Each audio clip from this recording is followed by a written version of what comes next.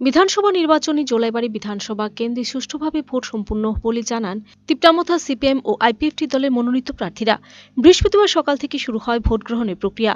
আত্রিশ জোলাইবাড়ি বিধানসভা কেন্দ্রের সব কয়টি পোলিং স্টেশন পরিদর্শন করে জোলাইবাড়ি বিধানসভা কেন্দ্রের আইপিএফটি মনোনীত প্রার্থী শুক্লাচরণ নোয়াতিয়া সিপিআইএম মনোনীত প্রার্থী দেবেন্দ্র ত্রিপুরা ও তিপ্টামথা দলের মনোনীত প্রার্থী গৌরব মুখ চৌধুরী। সব দলের প্রার্থীরা জানান, জোলাইবাড়ি বিধানসভা কেন্দ্রে সুষ্ঠুভাবে ভোট গ্রহণের কাজ চলে।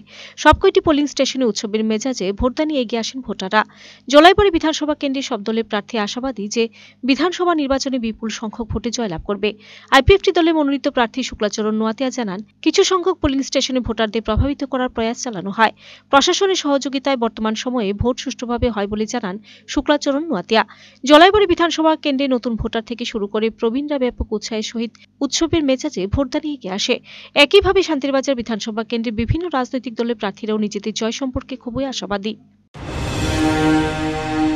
সুসংখ্যা আশাবাদী যেহেতু জলাইবাড়িবাসী শুধুমাত্র এডিসি নয় জেনারেল নয় প্রত্যেকটা অংশের মানুষ যেহেতু আমার উপর আস্থা রেখে এগিয়ে আসছেন এবং বলছেন যে দীর্ঘ বছর সিপিআইএম আমল তারপর বিজেপি আইপিএফটি আমল ওনারা কিছুই পায়নি। তো এখন যেহেতু বুবাগরা নেতৃত্বে আমাদের কাজ চলছে এডিসিতে সেটাকে দেখে সকল অংশের মানুষই আমাদের কাছে এগিয়ে আসছে। তো আমি একশো পার্সেন্ট আশাবাদী। Video report search in.